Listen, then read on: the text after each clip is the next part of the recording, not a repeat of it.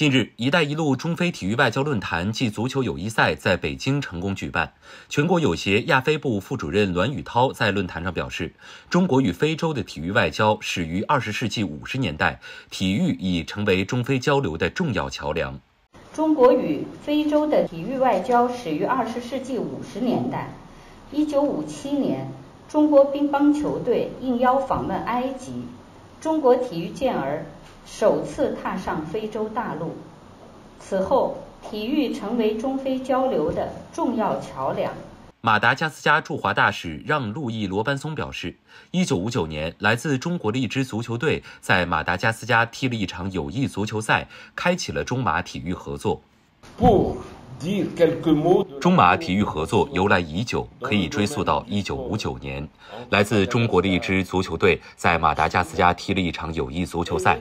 体育是一项能够团结人民的活动，是友谊和和平的催化剂。十五年前，我以马达加斯加青年和体育部部长的身份参加了二零零八年北京奥运会。今天，我很高兴，也很荣幸能够再次在北京参加这项体育的盛事。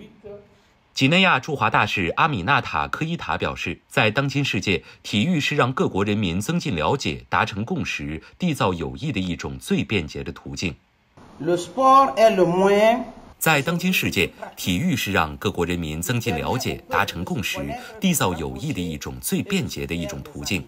这些围绕着圆形足球发生的相逢，均以比赛的原则和规则为基础，尤其对非暴力精神的遵守。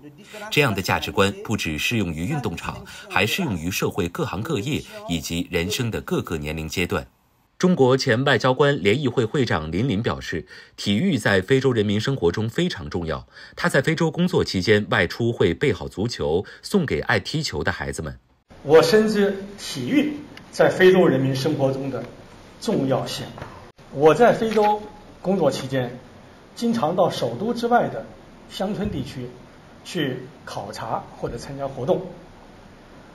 我发现，哪怕是去到一些很偏远的山村，也能看到非洲孩子们在空地上踢足球。有时候他们踢的都不是。真正的足球就是拿一个什么布块儿什么自己裹起来啊，就这么踢啊。但是他们也能同样踢的有模有样、津津有味的。所以呢，我后来经常这个自己出去就在车上备一些足球。那么看到这些孩子们啊，或者到一些中小学校啊，我经常给他们就捐一些。